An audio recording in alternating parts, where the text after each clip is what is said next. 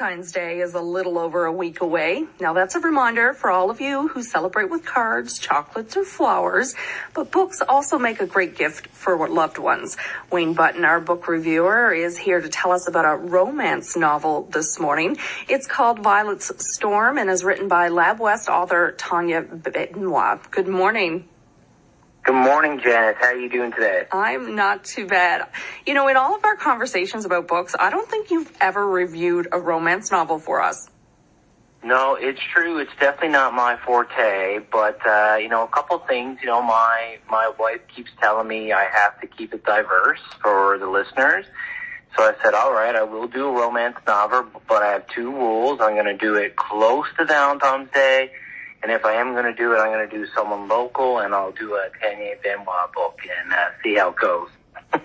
now, Tanya has a few books as part of this series. So, what is Violet Storm about? Yeah, Violet Storm is about two families set in the 1800s in Ireland, and the Brady, sorry, the Kellys and the Ryans. And both families have a very big, you know, iconic hold on transportation and the shipping industry in Ireland and they decide to come together and merge as a business decision.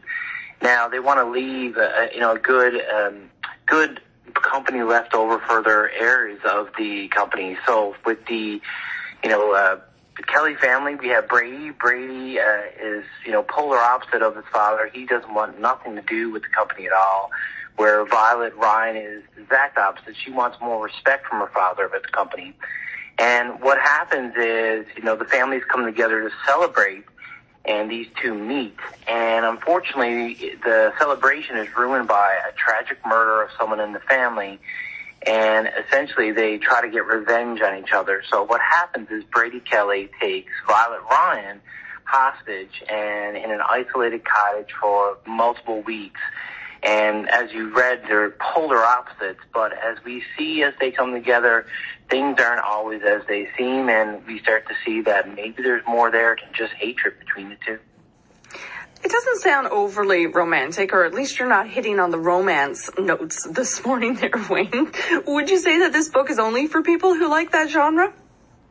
Yeah, I'm purposely taking a little winding away from the, you know, more adult like content. But no, it's it's definitely for people who probably uh, aren't into romance. It, it wasn't overly Fifty Shades Grey. I'd say it was more like Ten Shades Grey kind of reading. And uh, that was fine by me because I'm not overly into romance. But it has much more things that might interest people. I mean, for one, there's a murder, and the whole time you spend the book trying to figure out who did it. Uh, there's some rivalry between brothers about uh, company loyalty, and there's about companies trying to come together and create an iconic, uh, you know, business in uh, Ireland. There's some history there because it takes place in 1800 Ireland. So there is different things that may pique people's interest who maybe they're not interested in a romance novel. This is something that may, uh, you know, allude to someone who might want to read that. So Wayne, aside from the genre, the romance, the 10 shades of gray, as you said, what's it like reading a book that's written by someone that you actually know? Yeah, it's really cool. I mean, in a couple different ways. I mean, a lot of times when you read a bestseller, uh, you know, someone you don't know who's a stranger, you'll read it and you'll have thoughts about why they made choices they did. But I know Tanya, so I actually was able to talk to her and ask her about some of the choices she made. You know, why Ireland? You know, why did you pick these characters? You know, why did you go this route? And it was really good. It made the book a little bit more interesting to me to understand the, the choices that the author made. The second reason as well is, you know, a lot of times when we know somebody, you know, you might know them in a personal life, but you might not look at them the same way in a professional sense.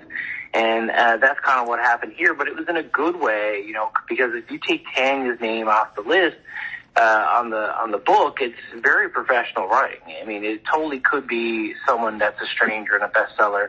It's not amateur writing per se, uh, even though it's someone here locally in Lab West, and and that's something that really impressed me because I didn't know that side of her. So uh, it's really good to read a book from someone that you know, and like I said, you can ask questions and reach out